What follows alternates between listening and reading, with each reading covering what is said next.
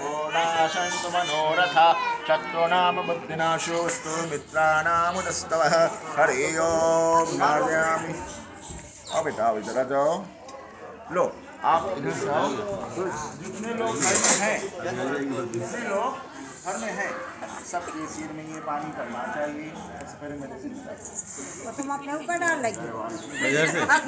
ऐसे करो सब। जितने बड़े यज्ञ स्थान बैठे हैं और इनका मार्जन मार्जन न हो। अरे भरो भरो मैं थोड़ा थोड़ा निकाल